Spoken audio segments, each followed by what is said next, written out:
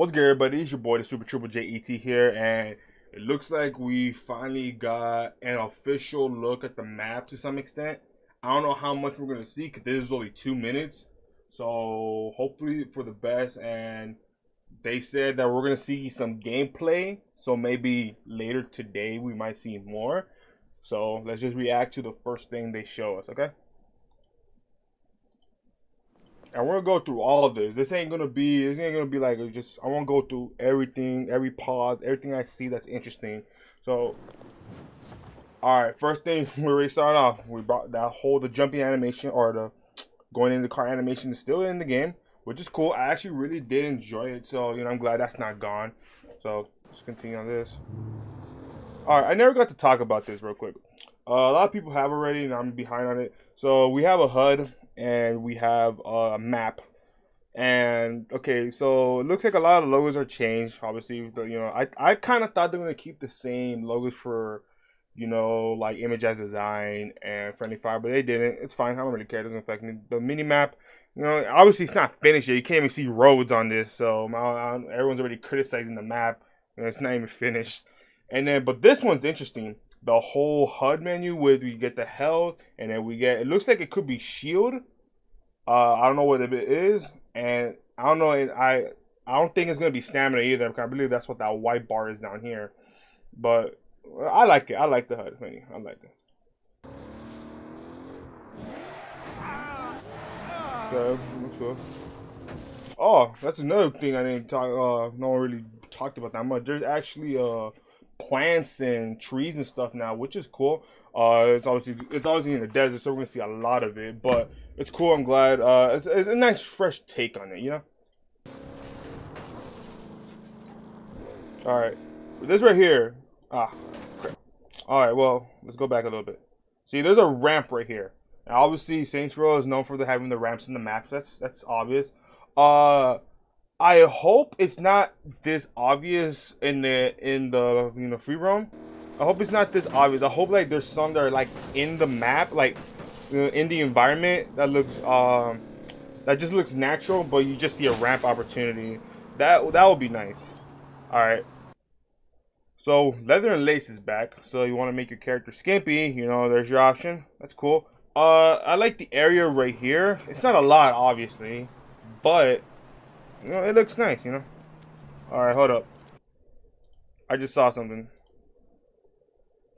Uh, there is a a hooker right there. I don't know how far Saints Row will go with that because I don't think they're gonna do what GTA does, where you can just fuck prostitutes. But I hope it's not like Saints Row the Third, where there's straight up gimps and hookers just walking around normally and stuff. All right, this right here is a positive. It shows that the NPCs are more alive. Now, you know, there's a whole fire truck police and everything. You know, an accident obviously happened. And I hope that uh, the NPCs are going to be more alive, similar to Saints Row 2. Because Saints Row 3 and 4, there were some that were like scripted to some extent. That you do see like a car accident in Saints Row 3, but I was like, whatever. But this looks impressive. Here's another thing I do notice there is a guy in a fursuit. Um, it's gonna be similar to Saints Row Third's NPC to some extent, where there's gonna be something wild. It looks like like it's gonna be multiple NPCs wearing fursuits. I mean, I'm not a big fan of that idea, but it's whatever, I guess. Um, but just I hope the NPCs are good, and that's all that matters. Uh, next is there's a castle right here. I, I, I don't know what the hell that's all about. Today's gonna be Okay. Now we got a nice look at the map. It looks cool. This looks like the more rundown area. And it looks cool for what we saw. This building right here, I heard is going to be the tallest building in the game. It's like it's like a boot. Um, but you know we'll see. But this this is more of a rundown area, and it looks cool. I really like the. I really like how it looks. By the way, um, there was an interview, I think it was two days ago or three, where they said that the Saints hideout is going to be at a church in Third Street. So you know, don't think that some people say it's gonna be on a coffee shop or whatever. No, it's it's a, back in it. It's keeping it keeping it classic. You know, um, this looks nice, and there's water here. So I'm gonna say this: I was wrong when I said there was gonna be no boats. I was wrong. I just assumed there wasn't because you know it's, I thought it was gonna be mostly desert, but I was wrong. And I heard there are gonna be boats, and they confirmed a couple boats in the game. So that was my bad. That's my bad. But it looks nice. I like it. It looks very very nice. Um, you know the more Latino type area. You can see this person's working out in the middle of the road. Alright, this looks like the more, um, how you could say, the more, I want to say suburban, the big city type areas. There we go. And if you see right here, that's Friendly Fire. And obviously you saw, uh, you know Friendly Fire is back, obviously, because the boss is wearing a Friendly Fire shirt. But yeah, that's Friendly Fire. The logo's still there. And speaking about the map, I'm not a, I'm not mad about it because I know it's not done because you can't even see roads. So you know, I know it's not done yet. So calm down, people. Are that people are just like, "No, the map looks terrible." Um, that logo right here looks like something related to the wingsuit.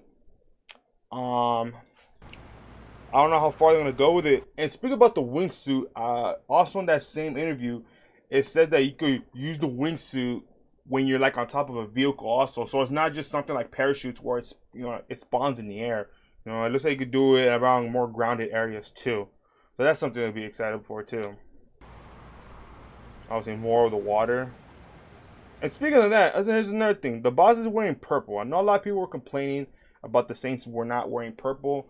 I heard from a few people saying that the Saints were gonna go uh be they're gonna turn into purple later on in the story.